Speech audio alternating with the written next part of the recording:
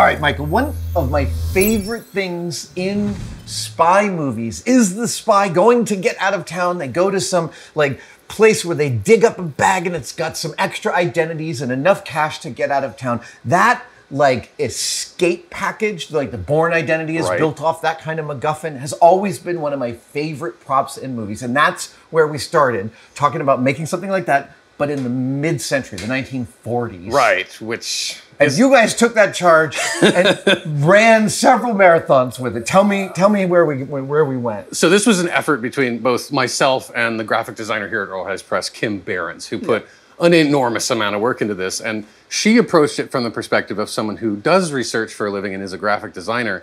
And I approached it from the perspective of, of as a prop master Yeah. and a historian.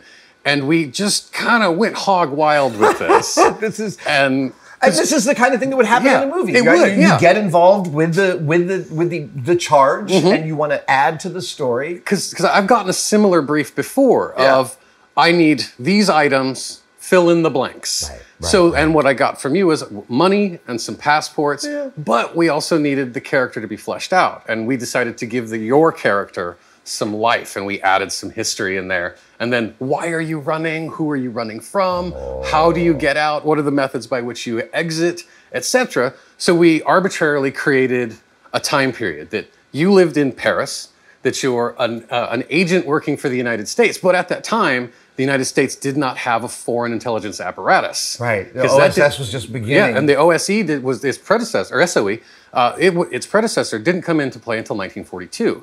So we placed you in Paris on the 30th of May, 1940, the day that France has fallen, and you receive a telegram, an emergency telegram in code that you have to get out, and your only exit is Casablanca. Oh my god, I'm getting such chills. there are so many beautiful pieces of ephemera and papernalia here. Is that how you say it? Uh, yeah, and it's uh, it's some of it is original, Oh my and some of it is stuff that we've remade. Oh. So it's a mixed bag, but all of it tells a story of both your life before, who you really are, Yeah. and then who you had to become, Okay. and how you get out. Incredible. Well, let's walk piece by piece through that story. Of course, absolutely. Okay, so when you gave us the brief, Yeah. and, and Kim Berens and I sat down and decided who you were, we chose that your actual name, your real identity, is Adam Savage. Okay. You lived in New York City. And by the way, uh, the CIA, from what I understand, that is referred to, the industry term is your true name. Your true name. Okay. That's Yeah. a good one. Yeah. So your true name is Adam Savage. You lived in New York. You were recruited by the War Department to act as a courier, which is what we called as foreign service agents at that time. You trained under what at that time would later become known as the SOE under the British, because all of our intelligence at that time came from the British. Because, and this is my favorite quote ever the United States didn't have an intelligence apparatus because a gentleman did not read another gentleman's mail.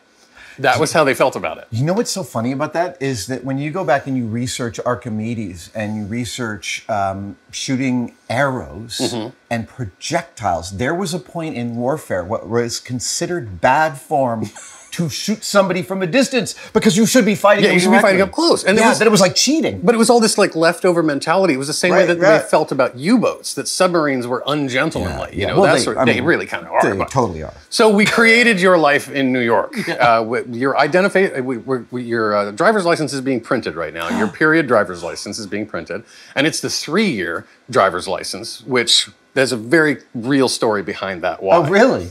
So we set this in 1940, of course, the fall of France. In New York, at that time, driver's licenses were one year.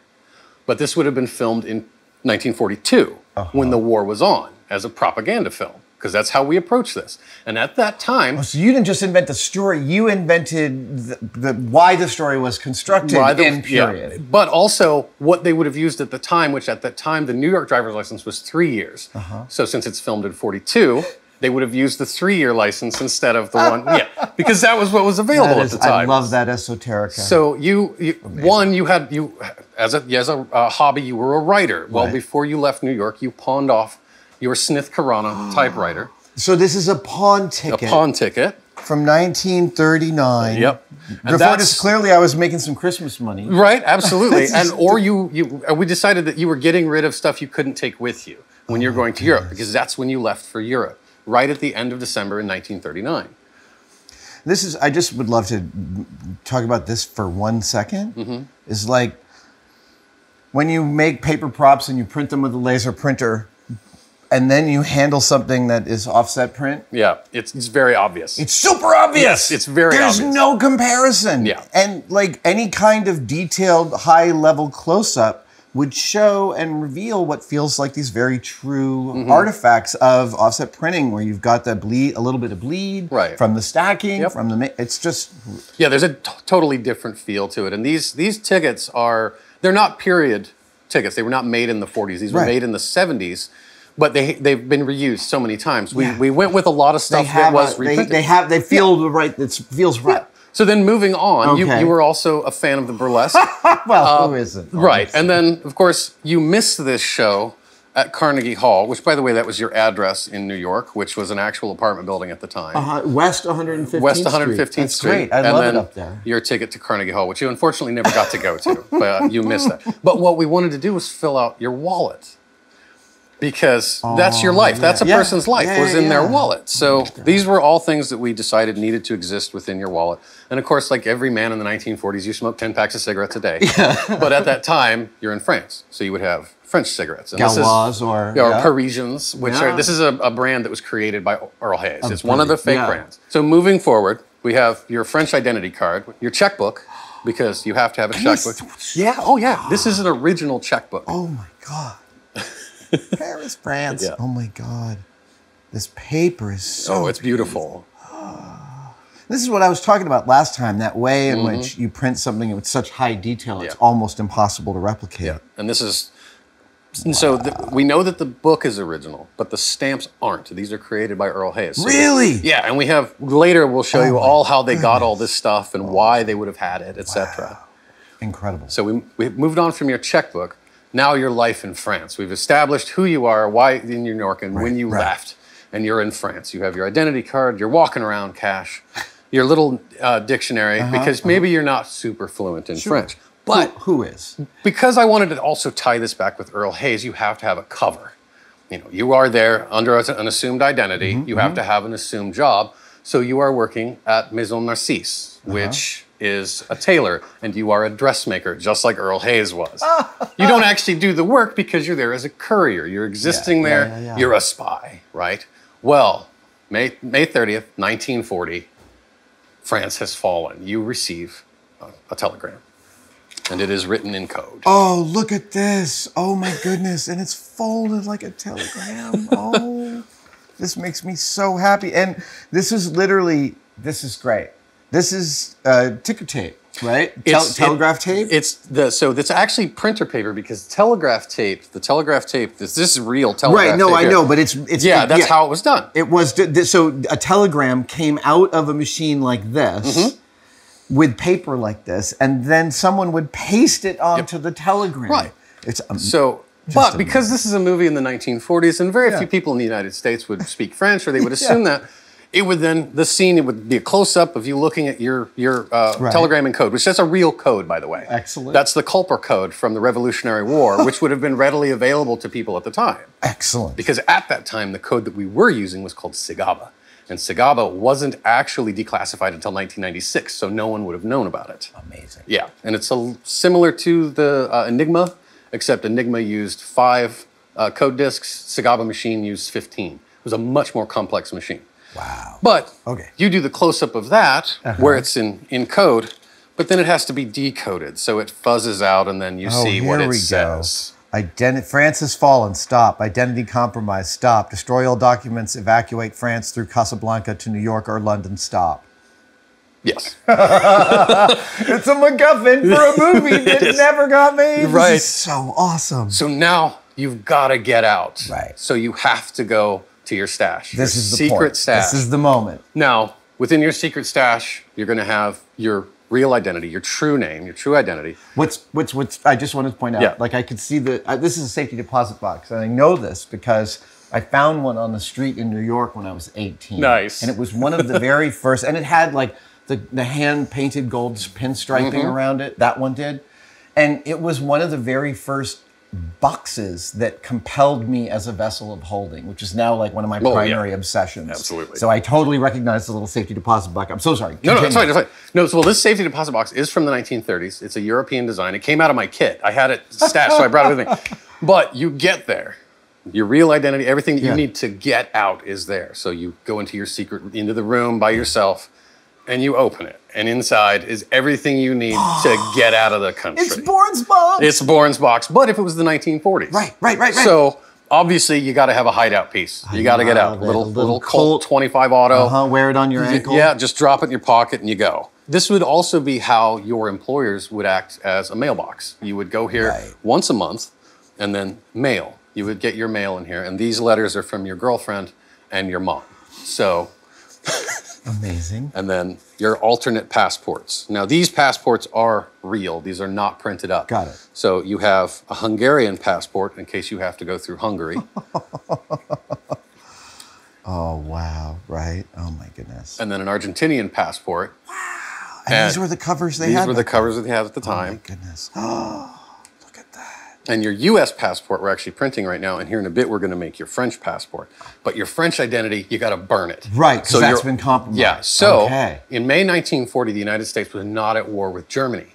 So you were technically neutral. So you could move under your US identity if you had to. It's amazing. Okay. But you don't want to. So at the time, Hungary was still not fully involved in the war, and Argentina was completely not involved in the war. So you would be able to actually move under those. But to do so, you need money. Mm-hmm. And that's what this box is set up for. You have, this is going to be confusing to some people, but it makes sense for the Okay. time period.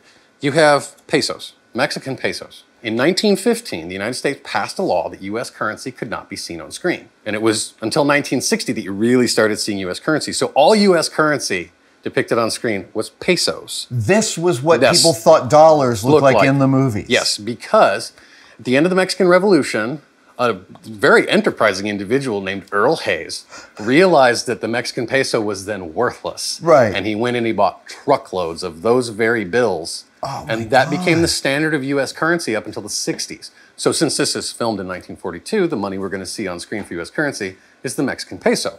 Now, this also is your mailbox. This is also where you get your paycheck, which is from a Oh. which is from a bank in Monte Carlo. then it's your what amounts to about two hundred and fifty dollars a month. Right. And that allows you to survive. Wow. Uh, and this is your monthly stipend. Well, you got it on May fifteenth. You hadn't cashed it or deposited it yet. This check is now worthless. Oh, right. Okay. Right. So burned. now, you're told to go through Casablanca. Uh huh. Your French money is good because it's a French colony. But if you have to go through Egypt, you have Egyptian money. Look at these. oh my goodness. Amazing. I love that you've tr- figured out all the paths I could take. Well, there's multiple paths Yeah, because yeah, at the yeah. time, though it was a fascist country, Spain was also neutral. Uh huh. So you have Spanish currency as well, and then British pounds because you never know. You might. This make- is British pounds. Yeah, these are pounds sterling from the period. Wow. Those are lovely. Yeah, all fake, of course. Of course. Extra French currency. All right. And all right. then, well, Germany is right there. yeah, some German ones. Now we we went ahead and we used some pre-war because of the the insignia. some iconography, sure. Yeah, iconography that might be considered problematic today. So we used these. So you have every currency for every major economy around France at the time to get out. Incredible. So you have money for bribes, you have money to pay your way, you have everything you need, multiple identities to get out, little bits of personal business here and there, and then of course a hideout piece to help you along the way. But you get to Morocco, you are in Casablanca. Yeah, yeah. How do you get out? Well, it doesn't matter what uh, identity you're under. There's only one piece of paper that you need to get out The letter of transit. the letter of transit.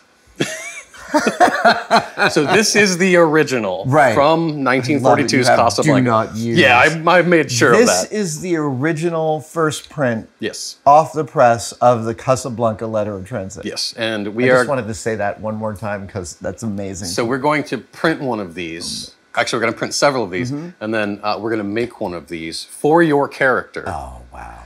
because we have to. But it will be undated. Right. because it would have been signed by Charles de Gaulle and left open so that you could fill in the date that you need to leave. Which, because of the time it gets to it takes to Yeah. get from France down to Casablanca, you don't reach Casablanca until December 5th, 1941. Several months later. Yeah. And you board a plane with two other individuals, one a Hungarian citizen and the other a Danish citizen, and you fly out from the airport in Casablanca on December 6, 1941, tying it in directly to the end of the 1942 film Casablanca. Incredible. Michael! um, I mean, what is really beautiful about this is it is not just a simulacrum of a, of a plot, of an object, of a MacGuffin, uh, and of how they come to be. But you know, one of the things I love covering on Tested specifically is how uh, films are not the sole vision of a singular director's Takes a village, yeah. That is a management structure in which everyone below the director is also weaving and getting involved in and pushing beautiful narratives. And this is exactly the same. We took this simple, simple idea I had and ran so far and so deep. It's just fantastic. Well, it was such a beautiful opportunity to one tell a story and let my mind and Kim's mind take over and Yeah. run with this, but then also tie it into one of the greatest films of all time, Yeah. and also these wonderful pieces that exist here and were created here for that film, and tie in this story with that story and tell the same story, uh, and tell the story of both at the same time. So now, when when when you're going through and coming up with the original list of the items that it should hold, um, it looks to me like some of the choices you made are based on the institutional knowledge of what has gone before, what other people have thrown in to make for characters. Because you've got these little things like pawn tickets uh, and burlesque tickets in Carnegie Hall. Um, that's that kind of depth that Earl Hays brings to Oh yes, absolutely, and this and- kind of problem solving. And they have a very unique uh, way to do it because they've been around for so long. Yeah. And they've been doing it before internet was ever a thing. Right. They had to reach out to everyone to get examples of absolutely everything, and they still have it all here. Right. All of this comes from originals that are in the building. So, and that have been in the building, well, have been with the company since 1915 Right. and on. Incredible. Yeah, which is why we're able to make hyper accurate French passports from 1940 because we have original passports. Oh, and am I 19 right that that's an original and that's the copy? Uh, so yes, this is one of the background screen used, Right. uh, which is interesting that the name Philippe Pétain is on there because it was the commanding general of all French forces in 1940. And then this is the fake that was made here. This is the replica that was made Yeah. here recently, and these are more covers that were made. These are original covers made during the period and original pages made during the period. Would you you could you could actually acid etch staples and rust them before putting them Mm-hmm. Before in a stapler, in, so you would get. Uh, But since this is supposed to be during that time period, oh, since it's supposed to be new, the staples Yeah. wouldn't be. Oh my Yeah. god! Of course. Yeah, and these are steel staples, which would have been used, not stainless steel. So we used the correct staples when we made it. So it's as, and the only difference with between these two is that one, these were laser printed Right. because these plates don't exist anymore. Yeah. They're long gone. So we have to make do in some ways. And one of them was that we were, they were printed on this um, amazing Mimaki behind you, and they were we were able to color match. We were able to remove the filth of, of the of, of the years and create them as if they were made in 1940. Incredible. Okay, Michael, we're going to walk through the French passport here. Okay. Mm-hmm. Yes, we are. So at, we've discussed this before. A lot of times, the things that have been found here have been found on a random shelf in a random box, etc. Yeah. This is no different. This was just a little while ago. This was discovered. Because I'm looking at the name on that. Mm-hmm. It's a suspiciously familiar name, isn't it? It's Vic- is that really Victor Laszlo's This, this is actually one of the production made passports from Casablanca for the character Victor Laszlo, played by Paul Henreid. And this one does not have the art in it. And you can see it was it was all filled out, and then they used it to test stamps later on. So wow, and signatures. There's and- oh signatures, oh so it, it ended up being a, like a test pad. Look at that. But they did fill in everything. Wow. And then the classic void Yeah, and not yeah. for not valid for motion, Motion picture use only. Oh my goodness. So this is an original from the production of the film. Oh my god. This is what we based Yeah. these on because we and by we I mean Kim Berens, the magnificent graphic designer here, went through and scanned the original, Right. and then through digital means cleaned up all of the dirt and age, Yeah, yeah. and recreated all the elements of the interior. Look at that. So this is. May I just talk about this for a Of second? course. I mean, this is the kind of thing that uh, not being. If you don't pay attention to the right details, everything falls apart. And you can see there's this sort of like handmade aspect to this, where these Mm-hmm. red lines are not perfectly even, but that really feels like a kind of a period, Oh, yeah. uh, counterfeit-proof kind of thing. And Kim has just nailed every last bit of it. I know there's some color variance in the paper, but that's not really as important as how these graphics feel like this was printed in the 40s. And and this all started out as off-white paper. Right. Because all of the color had to be added in and we took into account fading over the last Sure, 80 years sure. and the variations in color. But she perfectly matched it and then then comes the next difficult step is well one we have to match the handwriting which is going to be a fun Right, process by hand and then the stamps all of these individual stamps which are crossed over each other and it's a big huge mess Yeah. so she again, she pulled every single one of them out, No created digital versions of them, and then we began the process of testing them Oh my goodness for color, for variation, And then, uh, on different shades Right. to see which color works the best. so they didn't just, I would just assume that they would use black They didn't. because it's the highest contrast. No. No. But in black and white film, black shows up different than blue, shows up different than purple. Right. So while the film isn't in color, colors do make a difference. Yes. And so they chose their color specifically here. This kind of blue, purple. Purpley thing. Yeah. So, well, that ink obviously doesn't exist anymore. So, what do we oh, do? Oh, so these are all your ink tests. Okay, now so we had to go by every shade of ink we could find to then figure out what the correct shade was, and then that process we got through that, and then there's paper stamps under right. here yeah, as well. I was noticing these little doodads. So Is Kim again, uh, the absolute talent that she is, went through Oh goodness. and recreated all of those stamps, two different colors because it's two different colors of paper, and then we're gonna glue all these down. We are. Yes. Oh, yay. And then we're gonna run all of the stamps, and this this right here void is Yeah. a problem because those are actually punched through Yeah. the paper Right. and you can see the light coming through. That machine used to do that is they're almost non-existent now, Really? and we don't have one. Okay. So we made a stamp, That, To replicate Ah, it. Oh. and then of course to replicate, not valid for motion picture use only. Now we have images. There's at least a couple of these passports known to survive, Right, right, right. and we have plenty of reference images of how they all look, but they're all different. So there, uh, like where we know that all of our U.S. passports are going to be perfectly uniform in their form. Mm-hmm. Back then, different passport offices might have had small differences in the page layouts. Absolutely, they'd had different layouts, but there are more than one Victor Laszlo passport, oh, and each one is different.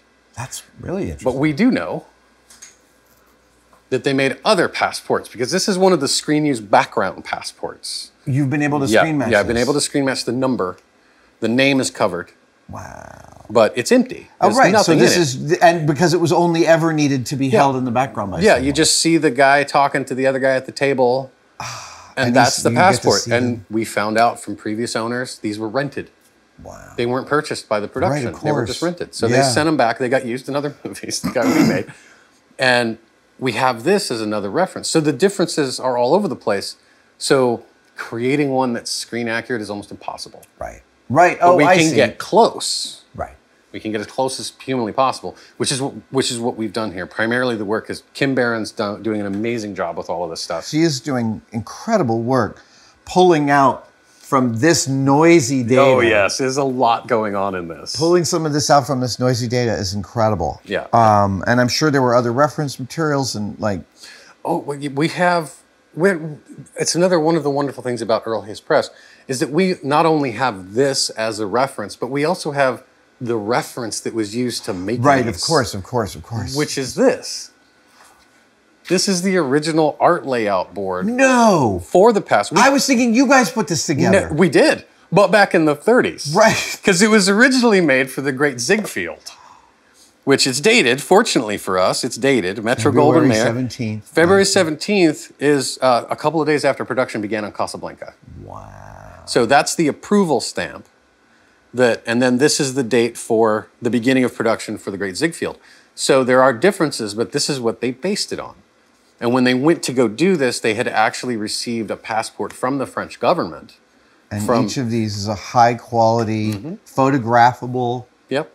That they were then able to use to make plates that they then ran on a printing press to create these. 31 pieces. 31 picas oh my god right four prints they're actually explaining on the piece exactly how big it needs to be so this is this is the actual business end of the institutional knowledge It is, absolutely. this is the piece that after production gets put away so that you can always make it again Yeah, we can go back to it Oh, and come back at it. And there's and you look at it, you can see there's differences. It's where they hand Oh. drew the emblem that's on the front to remake it.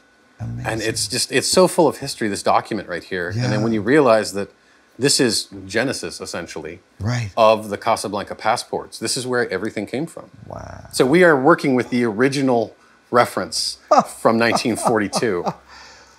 that is um i it just like this plus this is such an amazing kind of a piece of film history I mean, have you ever done a replica with this much original reference? Oh yeah. no So I have I have yet I have yet to build one of these. oh great So this is my first time building one. So we- oh. So and I'm happy that the first time I'm building one building one of these is with Adam Savage. So Excellent. so this should be a lot of fun. So we'll get started. We have to put all the stamps in Yeah, this, yeah. which is the first thing that goes down, and we have to. So we look at this page, which is the noisiest page Yeah. in here in all of this, and we have to determine what what went down first. Right. My guess, and this is a guess, is that the paper stamps went down before right. anything. Well, and it clearly white stamps went down before. Oh wait, no. It's it seems to No, be it looks from top to bottom. They just actually that was first, second, third, fourth, and 5th mm -hmm. And I, looks think it's like the it's the same, same from order, here. So yeah. it's top to bottom, and then three big stamps, three big stamps, and then there's oh wow, right, and then so there's this. Yeah, and they just kind of, but, and this was something that Kim pointed out to me. Mm-hmm. This is supposedly the travel of Victor Laszlo Right. throughout the film. So, and we have a map here to explain this because it's a weird travel that makes no sense. Oh, neat. So, but it also tells the end of the story we never see in the movie. So he begins in France, and he travels to Oran, uh, down there, right? Oran, right? From Oran, he goes to Algiers. Uh huh. And from Algiers, uh, this little town is not on the map, but it's right around here. Okay. And then he ends up in Casablanca, all the way over here. Yeah. Then he goes from Casablanca to Avion, up to France, Uh huh. and then he ends up in the United States. So he made it out. The passport makes it clear. The passport makes it clear that he made it out. He got out September 12th, 1942, which is the date production ended. That's really neat. oh my god. Okay, so uh, So we, we started with this, we had this, we, it became this, scanned everything. The next step in all this is choosing paper, choosing the correct weight of paper. Right, which, right. Fortunately, Earl Hays has about 100 years worth of paper out here. So once we've selected the grade of paper, uh, the correct weight, the correct feel of it. Yeah. For both the cover and, and the interior it- pages. like I would be doing, I would be like touching this paper, touching this paper. Is Same it any more advanced than that? Nope, okay. it. it's the it's the finger feel. Okay. Yeah, basically, we, we feel what is correct for it, and then Yeah. we move forward from there. Right. And then it all goes into Photoshop, it gets cleaned up, Mm-hmm, it gets printed out. And now we're left with this. So now we have to start applying color to it. But that's a very specific purple. Everything under there is a very specific Right, purple. right, we'll right. have to mix that, but we got to cut all these out first. Okay.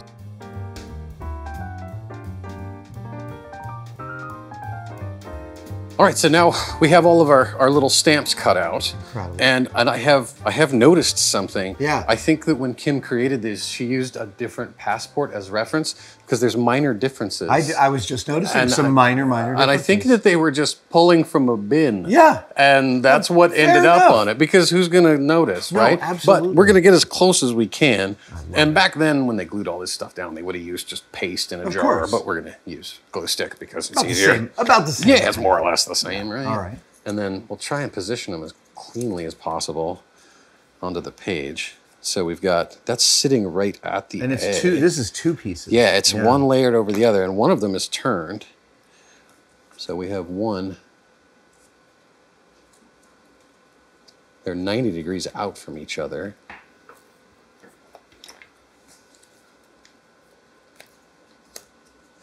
And then the next step is this guy. Is it? No, it's this one right here. You're right. Yeah. Yeah. yeah. It is. There's the. Uh, yeah. It's like a really weird puzzle. But that's all the paper I props know are it's always always they're like always this, that right? way. Yeah.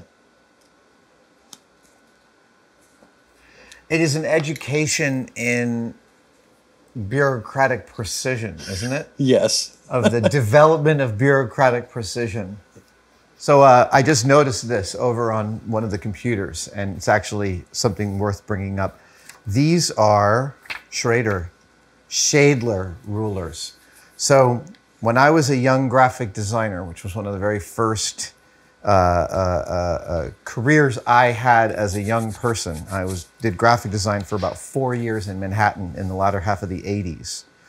The first graphic design tool I spent real money on was a pair of Schaedler precision rules because these were at the time and probably still are the gold standard of traceable, precise pica uh, measurements for typesetting. Uh, and I used this as a type specker. But I just, I looked at, all the way across the room, I saw this hanging off a computer, and I'm like, Schaedlers, yeah. I totally remember buying these. I remember being told about them. I remember being like, I gotta get me a pair of those because those are what the pros use. And then reading in the documentation that they're traceable to the US standard of what a pica is. And like, I was like, traceable? That's the first time I like got obsessed with the word traceable.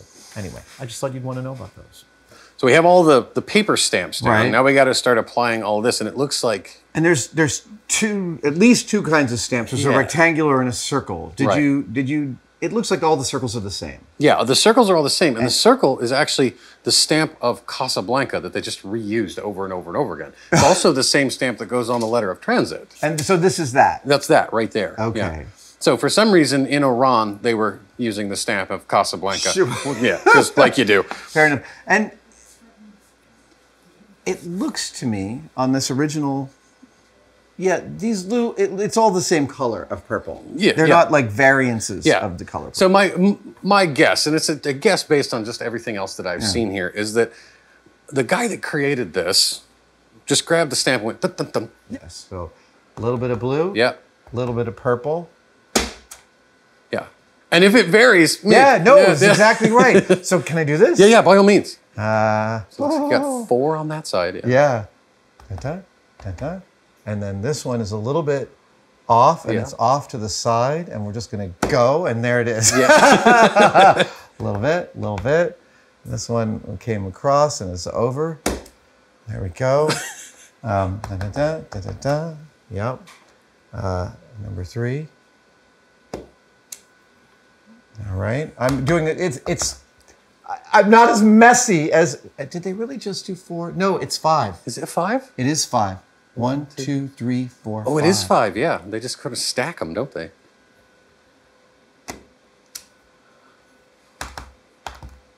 Oh my god! And here we go. Okay, and so and then this is the same color. Yeah, it is yeah, exactly the same color. Oh, say. So I gonna probably this. probably has enough blue on it now. You probably don't need to transfer any longer because it looks like it's mixed Ah. up pretty good. Gotcha. Oh, I see that this has enough blue on it. Yeah. Okay. So doing this to get the Yeah. color correct. There we go. Oh my god, this is terrifying.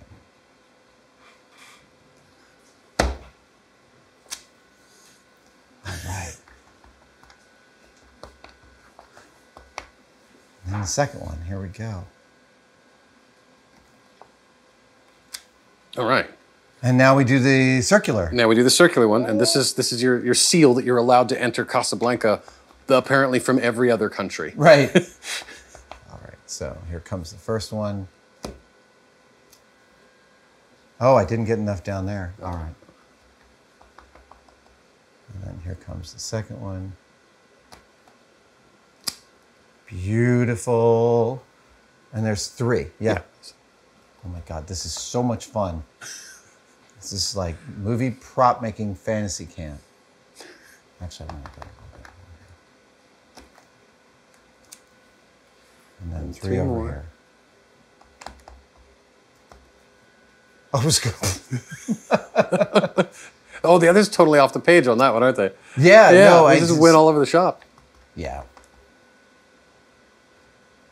right. There's also all sorts of funny stuff going on there. Magnificent.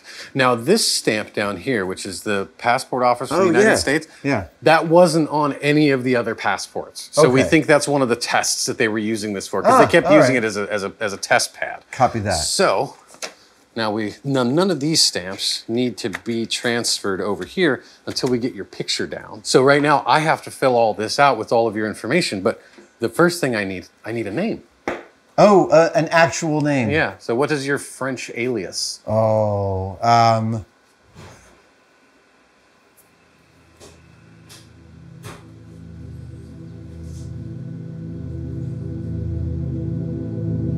This is a weird one.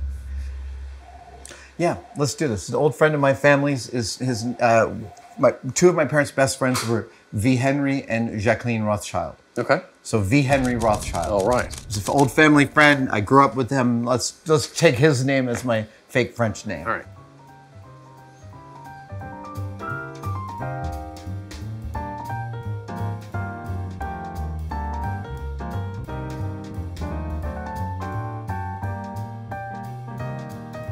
All right, Adam. We Oh. have the entire history of your character from the start of the story to the end.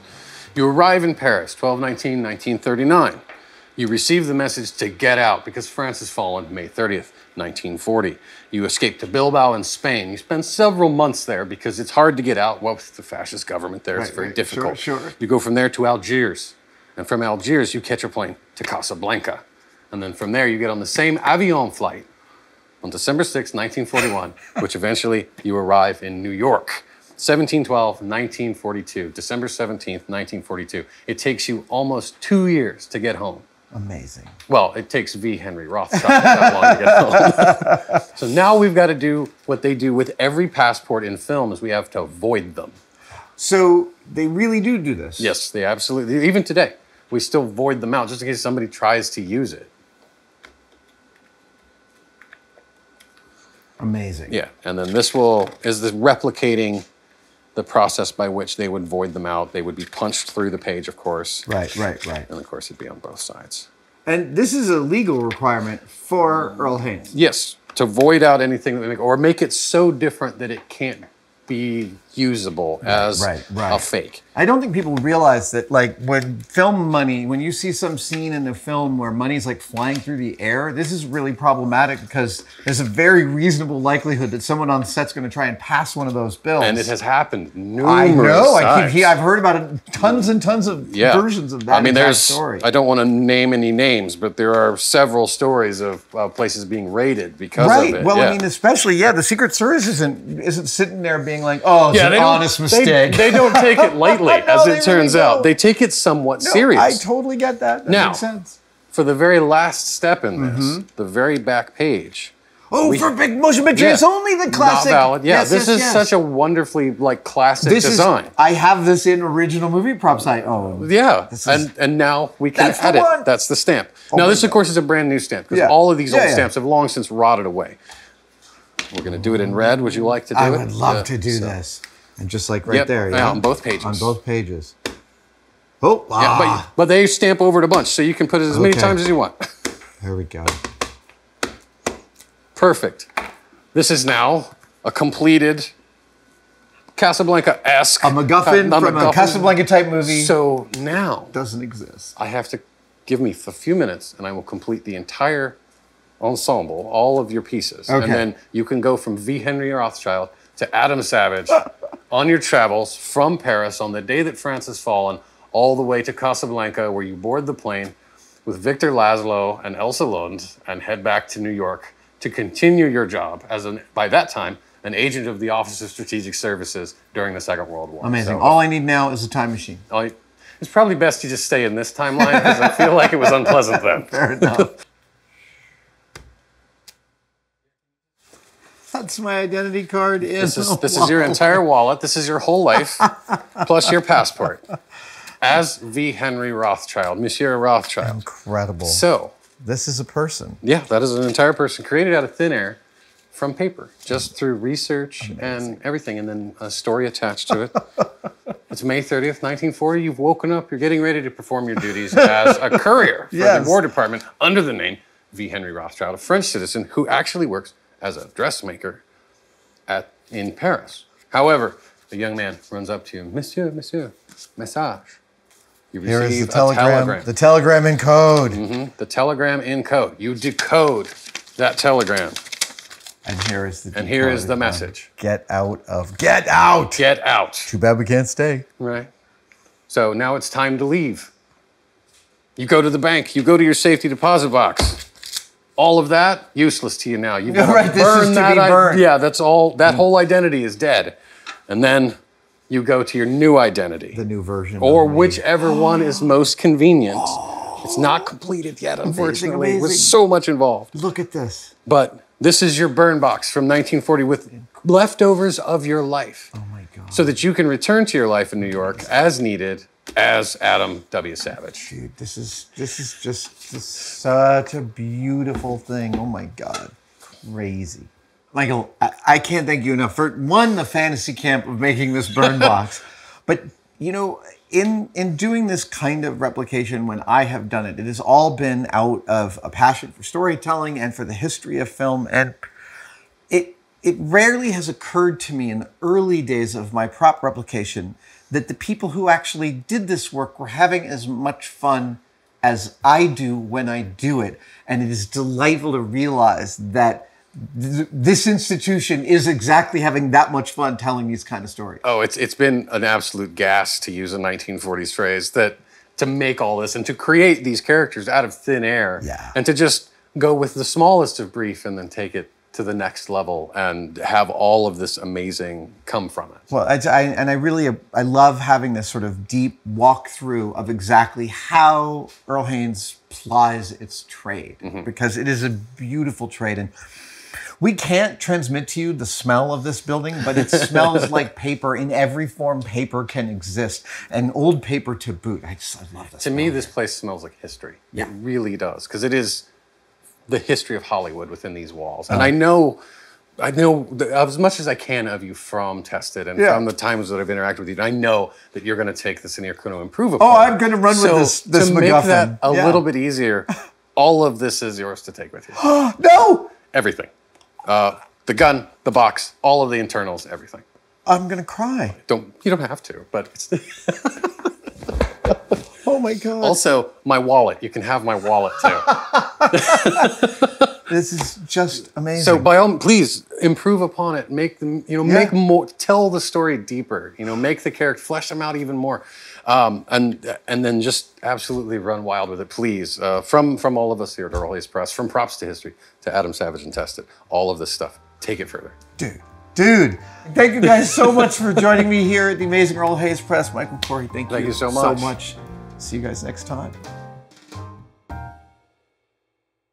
Hey, I hope you enjoyed that video. I cannot tell you how much fun we had filming it. I want to take a moment to thank Michael Corrie, Props to History, and specifically Earl Hays Press for their incredible generosity of the time and energy they have given us to let us follow along as they unpack and reveal the incredible history in this and all of their other buildings. And if you have been watching any of these Earl Hays videos and content and wondering to yourself, how do I add any of that incredible history to my prop collection? You are in luck because Earl Hays has started to make parts of their incredible collection available to the public. If you've ever wanted your own package of Smeat, well, you can follow the link in the description below and go buy it.